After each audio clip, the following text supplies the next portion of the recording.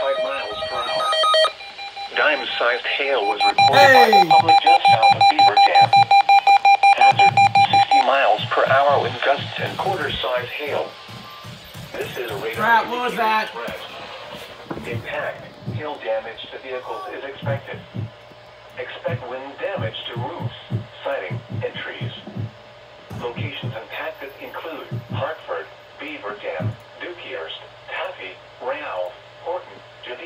Megan, Sandiford Crossing and Buford.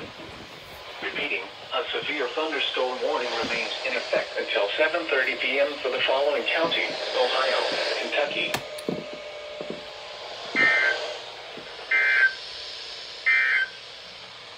a severe